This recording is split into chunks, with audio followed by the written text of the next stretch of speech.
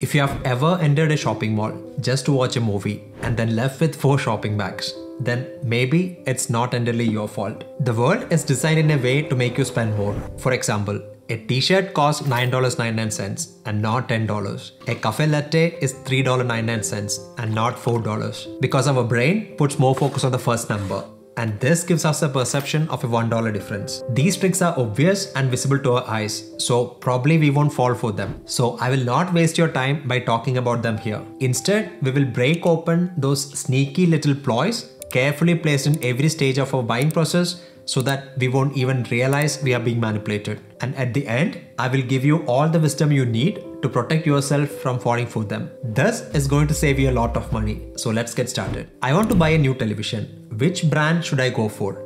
LG? Samsung? Sony? There are over 200 television brands in the world, but still, those were the names that came to my mind first. And the reason? Advertisements. The marketing budget of LG, Samsung and Sony is in billions. I have often wondered why advertisement works at all. We know everything is staged, from the actors to the dialogues to the claims. Jennifer Lopez appeared in this ad for Fiat 500. Do you think she actually drives around in a Fiat 500? And then there is a 007 himself, promoting Indian pan masala. Really? Pan masala could have always killed you. But now it has officially the license to do that. We know they aren't even slightly related to these fields and shouldn't have a say in it. But still, we kind of believe them and they influence our shopping decisions. How does it all work? Let's watch this LG ad with the Indian actor SRK in the main role. But there is only one that shows you are a class apart. There is no mention of any of the features in this TV. He doesn't talk about the OLED screen's high brightness and contrast or how slim the TV is. The ad is all about class. And if you own an LG TV, you'll be classy. Who doesn't like that? Everyone loves stories. We value them over statistics and they get stuck in our brain and marketing people know that very well. The best example is Apple. Apple commercials are unique and they always leave a long lasting impression. The ads are not about the product directly, but they show stories about how much fun a person can have with their products. They are not playing to the logical part of our brain, they are just trying to create a link between the product and our emotions. Because we buy based on emotions and then justify that purchase with logic. So I went against my instincts and decided to go to the local electronics store to check the models myself. So let's get the car keys.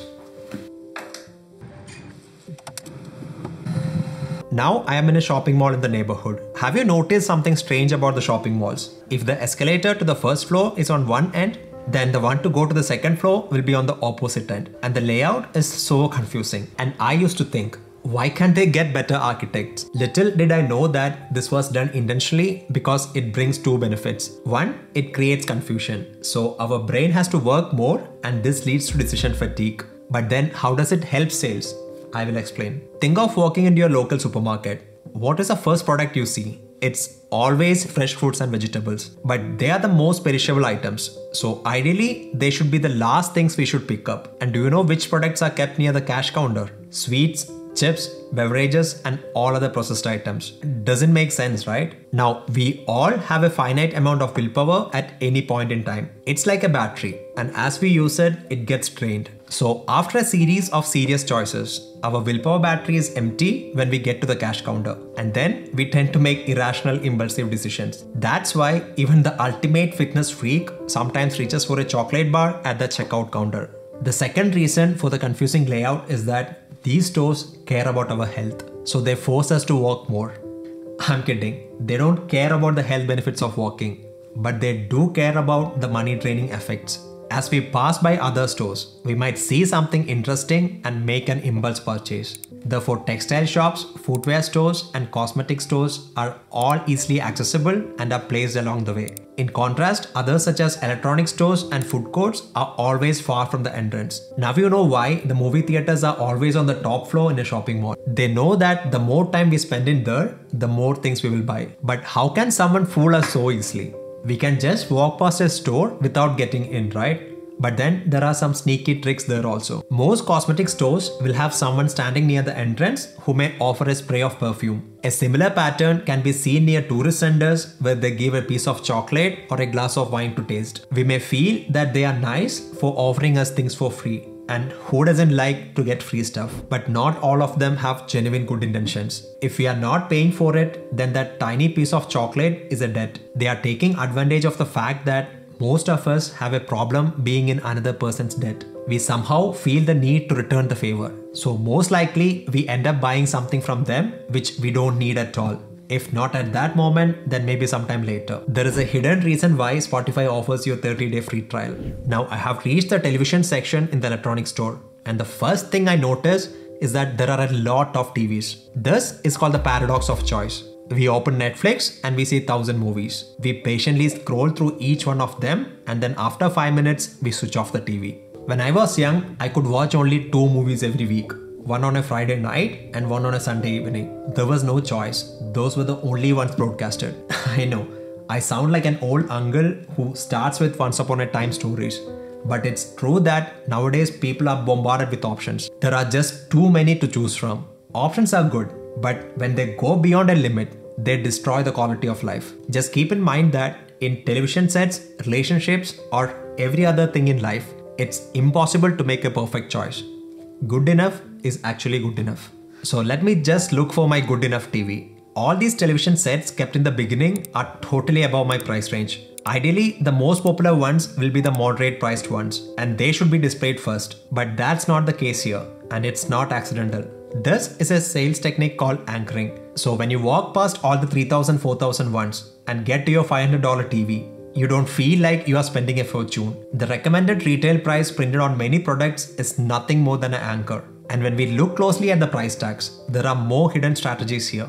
Every product has a fake retail price and then a heavily discounted sales price. This makes it seem like we are getting a great deal Ideally, only the current price should matter, but somehow a product discounted by $300 seems to be a better deal than one with no discount. And most of these offers and discounts last only for a fixed time or until stocks run out. Just the feeling of rarity will increase the value of the product in our eyes even if it's not necessarily rare. Another common sales trick is the buy one get one free or BOGO. Now, if you're already planning to make a purchase and the second one is free, then by all means take it. But just don't go to the store because there is BOGO. Of course, for my current purchase, I'm not going to fall for this. I don't need two televisions. Or do I? I did check out a few models and also talk to the salesperson, but I didn't make the purchase because I wasn't prepared. So now let's head home and then approach it the right way. Think carefully about what you want. Set a budget and make sure you stick to it. This should be like the red line you shall never cross. Know how much you are ready to cash out before you do any research or check any offers. With purchases like television sets or cars, there will always be small incremental updates. If you pay $50 more, you may get a slightly brighter screen. Or if you pay another $100, you can get the next bigger size. This will never end. So stick to your budget. Invest the time to do serious research before you click the buy button. See what are the major brands and models that fall within your budget. Assess products and services only based on the price and benefits. Go through blogs and product reviews. A good place to check is the verified reviews on Amazon from the current product owners. And don't buy from an unknown brand just because the washing machine is at an 80% discount. If it stopped washing after a month, then you just made an 100% loss. So it's always better to put quality over quantity. Once you have filtered and identified some models, add them to a price comparison service such as Idealo or Camel Camel Camel to know the price history. Some apps even allow you to set alerts when the price drops below the set limits. If it's not an urgent purchase, then wait a few months. Offers always repeat and the price will drop. You just need to have the patience to wait for it. If you have to go to a shopping mall to make a purchase, then be clear on what you want to buy and where you want to buy it. Once you are at the shopping mall, then take the shortest route to the destination. Take the lift instead of escalator or stairs if the store is on a different floor. You can work out later. Every time we walk into a shopping mall, supermarket, or a store, it's us against them. 95% of our purchasing decisions are made in our subconscious mind. So once you understand how retailers try to influence your behavior, then you can learn to fight back. If you got some value from this video, then give it a like and consider subscribing to the channel. Until I see you with another video, adios and happy shopping.